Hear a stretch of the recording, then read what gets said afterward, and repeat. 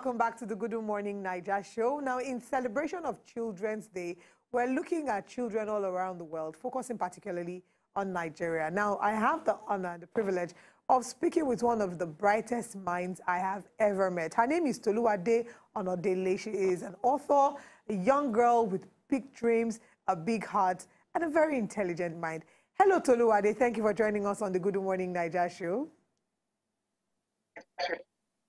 Good morning. Good morning. Modi. Thank you for having me. And happy Children's Day. Thank you. You too. Thank you. So I'm going to be interviewing you. I have a conversation with Edewo, and we are going to be speaking with you. We want to get to know you and all that you are about. So if I asked you, who is Toluwade, what would you say? Toluwade is a young nine-year-old girl who loves dogs and writing stories. So you love dogs and you write stories. So you're an, you're an animal lover. Is that what you're saying? I love animals. Okay, so uh, Toluwade, uh, you- now you write stories. Why did you decide to, or how, how did the love for story writing start for you? Is it that because you read a lot of storybooks, or why do you like to write? When I was young, I always read a lot of storybooks. And as I grew up, I started to love writing down my thoughts, and Okay. stories just made a way for me to share my thoughts with the world. So I just loved writing. Hmm, amazing. And uh, you, you, so, so reading these storybooks helped you. Uh, they prompted your, your, your thoughts on. Okay, you can actually do this. Not just reading them. I think I would want to share my own views about uh, life as well. So uh, we see that um, you are an author. Like you decided that this is what you want to do. So is this a long-term goal for you? Is this what you want to be for the rest of your life? Is this something you want to do for a long term? It's a thing I would like to do for the rest of my life, but it's not my main goal. Okay. So what okay. is your main goal? What is the main goal? To become a pediatrician. All right, so you, you want to be a pediatrician. I, I would like to ask what informed the choice of being a pediatrician. Did you mm-hmm. see anybody in particular that influenced this? Not anybody in my particular, but my grandma is a nurse, and I really love taking care of people and animals, and so that made me want to become a pediatrician because I can do it for children who might not have the chance to get proper health care. Hmm. Interesting. Now, TD, you are a very, very well read child. You're a very, very, very strong personality. What would you say has influenced the kind of personality that you have today? Is it, is it your parents or who- you are today? What are some of the things that have influenced who you are today? It's definitely my mom. She's always been there for me since I was little, now and forever. Oh, tell us about your mom, TD. My mom, she's an amazing person. Oh, She's always there for me. She might seem not happy, but she really loves me. Hmm. And and uh, you, you you get a lot of support from your mom uh, regarding this um, direction you want to go. So so when you write things, do you show them to your mom first to read, to, you know, to tell you what to take out, what to add? Do you always have this conversation with your mom? Yes, we always do. TD, Okay. you also, um, I learned that you addressed an international audience at some point. Tell us about it. I went to a Model United Nations conference in New York this February, actually. And how was that experience? How Tell us it? about it. Yeah. I get to share my ideas with other people who have a similar mindset to me. Hmm. So what was the uh, the, the subject uh, conversation about? What did you uh, talk about when you were in the conference?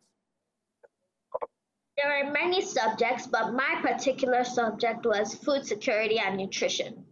Food security and nutrition. So, what, what were some of the things you talked about when you, you discussed food security and nutrition?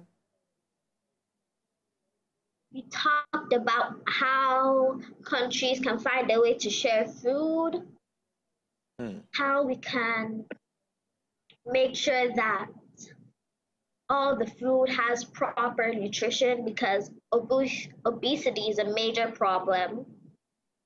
And we talked about, we also talked about how we can also ensure that we eat the right food and maintain a proper health standard. Hmm. Teddy, let's talk about some of the fun memories you've had as a child. Today on the show, everyone and I talked about our fondest memories as Yeah. children. So let's talk about yours. What are some of the things that you know you will never, some of the experiences you've had so far that you know you would never forget? I actually have to think about that one. For real? Okay. so, so, so, okay. Probably traveling. Okay, so while you're thinking about that, what do you do for fun? What do you do for fun? Aside reading a book, what do you do for fun? I love drawing. Oh, so why didn't you decide to become uh, a fine artist. artist or something? Why didn't you just say take that as? So do you do that too? Yes, I also draw. I'm still learning at the moment. So Teddy, do you play any instruments? Yeah, musical instruments. Do you play any musical instruments? Yes, I play the piano. Ah, thank God. I almost wanted to learn playing the piano though, but it didn't work out for me. I don't know. It didn't work out. All right, Teddy, usually girls always have a very interesting relationship with their fathers. I mean, I remember I did have a, a very wonderful relationship with my father. Tell us about the relationship you have with your father. My father and I were probably closer than my mom and I. Whenever my father is around, I just feel like I'm on top of the world. I'm on cloud nine, hmm. and When he's always there for me. so and I'll always be there for him. so so you have a you, you have a very good relationship with your dad and also a very good relationship with your mom, but uh, you say you rather tilt more when your dad is around. You tilt more to your father. It's like the relationship. Mommy, is very, please very don't be jealous. Teddy loves you. We know Teddy Uh-huh. loves you. Don't be jealous of the relationship Teddy has with your dad. what are some of the things that you enjoy doing with your dad? We play basketball together. Ah, Nice. that's good. We play Monopoly and Ludo together. Wow. Wow, that's, that's amazing. Teddy, there's a lockdown. I'm sure you're very aware of what is happening, the coronavirus pandemic. You're not able to go to school as usual. How would you say that coronavirus has affected you as a child? For me, What network? Oh, the No, network. the network shouldn't try. Oh, you should just network, do. don't do this, You should just do. Uh huh. We're back. Hello, Teddy, can you hear us? but we have a yes. we Okay. All right, can you yes, take, can. take, the, take the answer again? What are some of the things that coronavirus has affected, you know, or has prevented you from doing? How has it affected you as a child? Education is very important to me, so I haven't been able to go to school during the lockdown. But I've been taking online classes. Mhm. And uh, has- hasn't it affected? Do you do you visit your friends a lot? Do you go out with your friends? Do you hang out with your friends? So, did the, uh, the, has it affected that in any way, or are you the stay-at-home kind of girl who likes to be on your own? Yes. It has, right? Yeah, Okay, it's good. we have. But we have Zoom calls every now and then. Oh, Wow. Ah. Beautiful. Now, Teddy, well- let's get to, hmm. as, as we get to know you, I, I'm, I'm curious, what is your favorite food?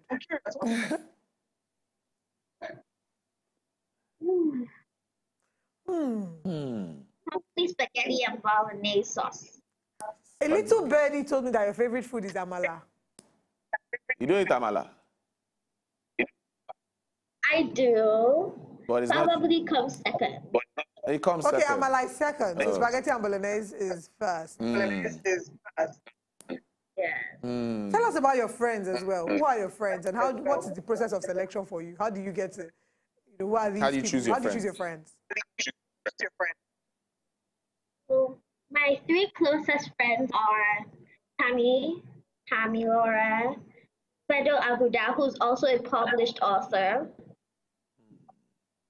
and Buddy 5 a.m. Why?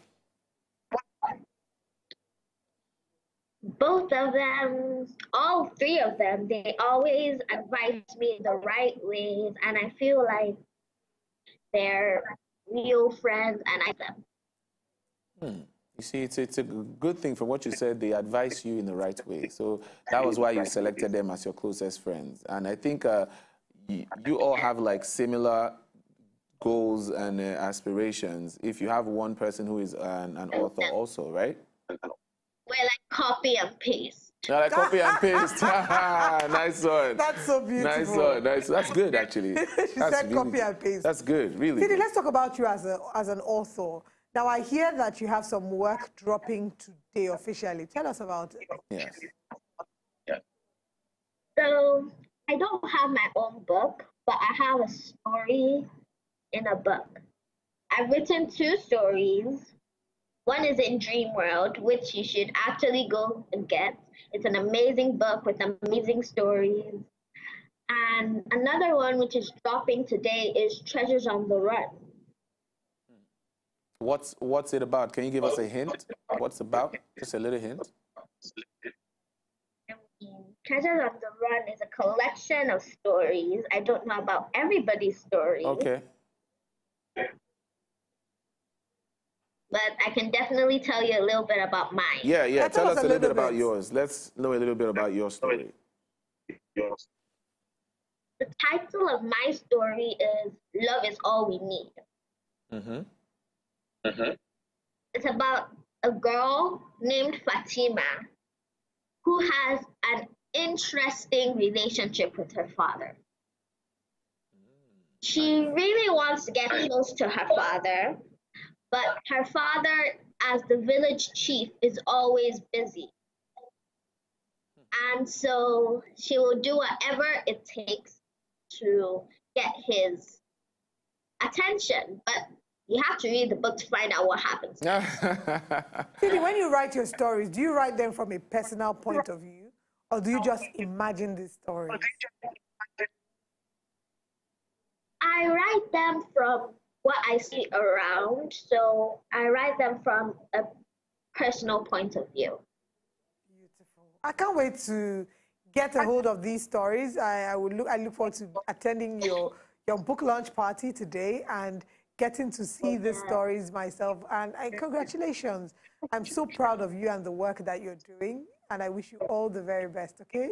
Thank you. Amazing. Okay. Before we let you go, TD. Um, I know that you, you you are very very spontaneous. You are not a shy person. You know how to make good use of moments. So you said at all. Hello, TD. Can you hear us? Yes. Okay, I know that you know how to uh, make good use of moments, and I'm going to give you some time on TV to talk about whatever it is you'd like to talk about.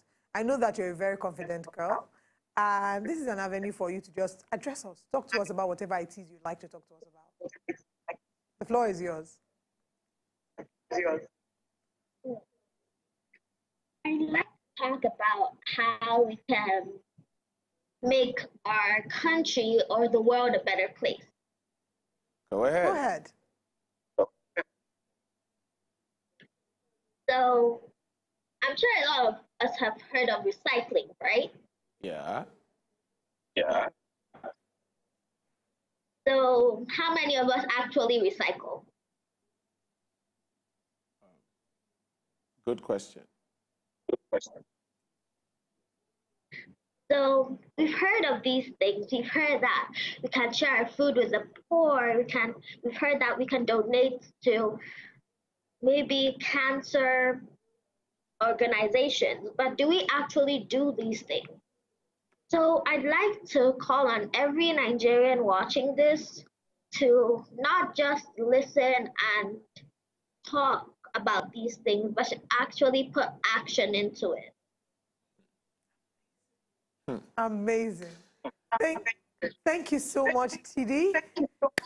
I, I would remember this word. She's calling on every Nigerian not just to talk to talk, but to walk the walk, not you know, walk the talk. All right. We look forward to seeing your work. We look forward to seeing you being uh, very worthy ambassadors of all the things that you push to everyone. Recycling. I, really like that you mentioned recycling.